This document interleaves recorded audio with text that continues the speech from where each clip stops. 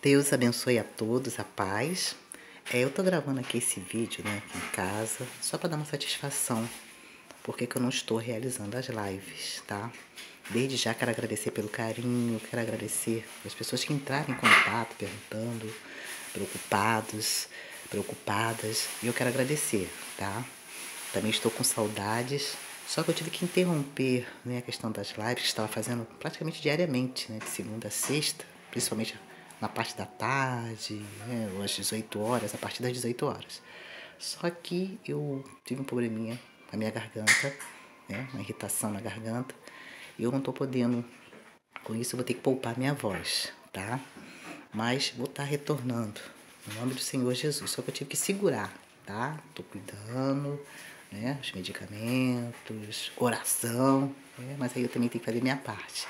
Então, eu quero agradecer a vocês aí pelo carinho e amo vocês, tá? Quero agradecer a todos aí. E quero deixar uma porção aqui da palavra de Deus, né? Rapidinho. É, Provérbios 23, versículo 5. Só a parte A, que diz assim, ó. Porventura fitarás os olhos naquilo que não é nada? Uma pergunta, né? Porventura fitarás os olhos naquilo que não é nada? Aqui está se referindo a riquezas né? Quando a pessoa coloca o coração, né? Se agarra como se a riqueza fosse tudo. E o Senhor deixa bem claro que isso para o Senhor não é nada. O que é mais valioso, o que é mais precioso. Mas eu quero trazer essa frase, essa pergunta para os nossos dias. Né? Aquilo que não é nada. Então, cuidado para você não ficar perdendo tempo, ficar é, preocupado com a sua mente ocupando em coisas que não vão produzir nada aquela árvore que não dá frutos. Então não deixe esses pensamentos tomar conta do seu coração. Você ficar pensando naquilo que não vai produzir paz, não vai produzir alegria, não vai produzir ânimo.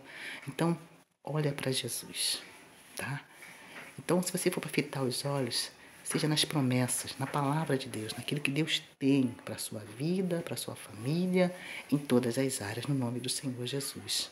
Porque quando nós olhamos para o Senhor, pode ter certeza que Deus ele tem cuidado de nós. Então, olha para o propósito de Deus. Fita os teus olhos no propósito que Deus tem na sua vida. Para de ficar desperdiçando o seu tempo com pessoas, com situações que não vão somar na sua vida. Para de ficar valorizando esses pensamentos. Repreende isso. Se livra disso. Em nome de Jesus, tá bom? Ó, Deus abençoe vocês poderosamente. Amo vocês, vou estar retornando. Só espero que vocês Peço que vocês tenham um pouquinho de paciência, tá? Mas estarei retornando, que eu amo fazer as lives. Eu também estou com muitas saudades também. Um beijão no coração de cada um de vocês. Amo vocês. Fiquem na paz.